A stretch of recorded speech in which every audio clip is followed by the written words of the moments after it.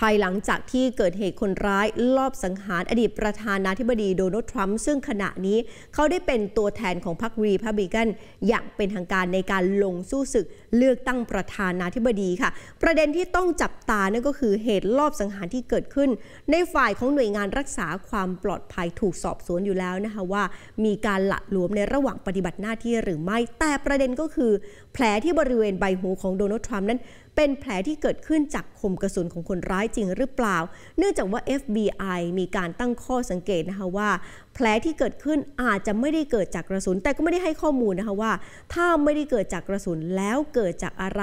และแน่นอนว่าเรื่องนี้นะคะต้องมีการนำหลักฐานในหลายส่วนเข้ามาร่วมพิสูจน์ทราบกันค่ะ ส่วนการเดินหน้าในการแข่งขันและหาเสียงของคู่ชิงประธานาธิบดี และผลสำรวจคะแนนนิยมที่สะท้อนออกมา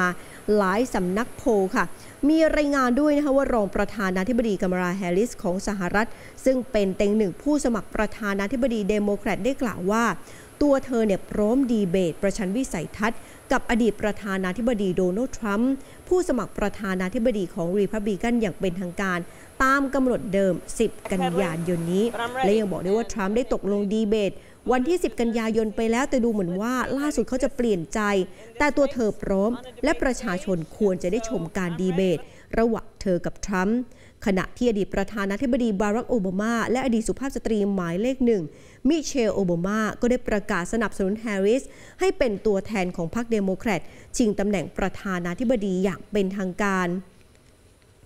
ท่ามกลางการแข่งขันและการหาเสียงที่เข้มข้นทุกขณะค่ะเมื่อวานนี้ ทีมหาเสียงของทรัมป์ก็ออกแถลงการณ์ แสดงความสงสัยว่าจะสามารถดีเบต ในวันที่ 10 กันยายนได้หรือไม่ เนื่องจากว่าเป็นกำหนดเดิมที่ทรัมป์จะดีเบตกับทางโจไบเดน โดยทีมหาเสียงของทรัมป์ระบุว่ารายละเอียดของการดีเบต ก็ยังไม่สามารถสรุปได้จนกว่าพรรคเดโมแครตจะมีผู้สมัครประธานาธิบดีคนใหม่อย่างเป็นทางการ ซึ่งต้องรอจนกว่าจะถึง 7 สิงหาคม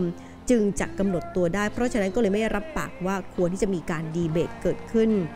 และถ้าไปติดตามผลสำรวจความนิยมจากกลุ่มประชาชน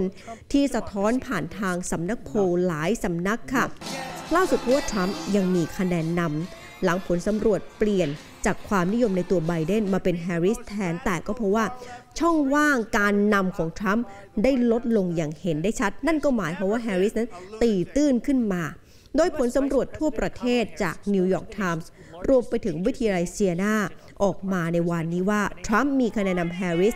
แต่ช่วงห่างไม่ได้กว้างมาก เมื่อเทียบกับทรัมป์และไบเดน โดยทรัมป์ได้คะแนนไปร้อยละ 48 ส่วนแฮร์ริสนั้นร้อยละ 46 ห่างเพียงเพียงแค่ 2 จุดเท่านั้น ขณะที่ทรัมป์เนี่ยเคยนำไบเดนห่างมากถึงร้อยละ 49 ต่อร้อยละ 41 ในผลสำรวจเมื่อต้นเดือนกรกฎาคม ก่อนที่ไบเดนจะประกาศถอนตัวออกไปค่ะ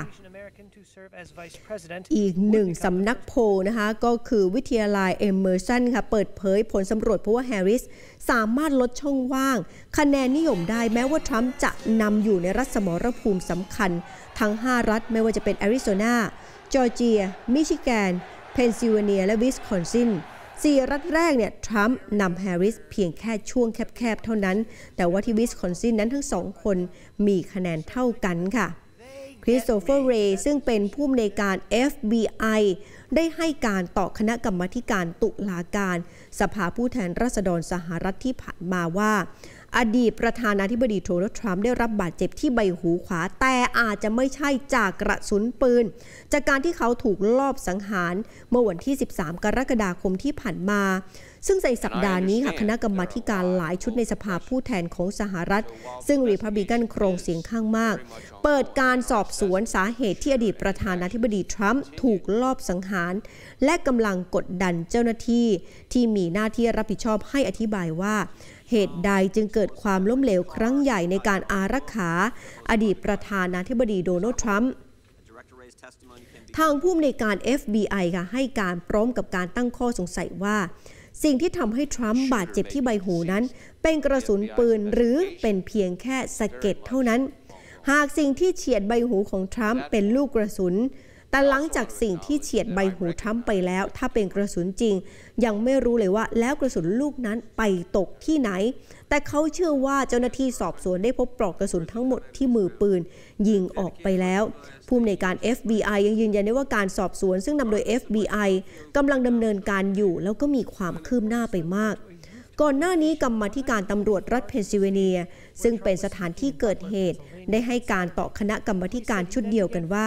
โทมัสแมทธิวครูกส์ได้ยิงกระสุนทั้งหมด 8 นัดก่อนที่จะถูกวิสามัญเสียชีวิต โดยเจ้าหน้าที่ซุ่มยิงค่ะ ครูกส์นั้นยิงกระสุนทั้งหมด 8 นัดไปที่ทรัมป์โดยใช้ปืนไรเฟิล AR-15 ขณะที่ทรัมป์กำลังยืนปราศรัยบนเวทีที่เมืองบัตเลอร์รัฐเพนซิลเวเนีย เมื่อ 13 กรกฎาคม เป็นเหตุให้ประชาชนที่มาฟังการปราศรัยเสียชีวิตไป 1 คน บาดเจ็บ 2 คน ซึ่งก่อนหน้านี้ค่ะทางโรนนี่แจ็คสันซึ่งเป็นอดีตแพทย์ทำเนียบขาวของสหรัฐ ผู้ตรวจบาดแผลของทรัมป์ก็ระบุว่าทรัมป์ถูกยิงที่ใบหูทำให้เกิดบาดแผลกว้างาง2เซนติเมตรค่ะ แต่ว่า FBI ก็ตั้งข้อสังเกตว่า ใช่การถูกกระสุนโดยตรงหรือไม่ค่ะ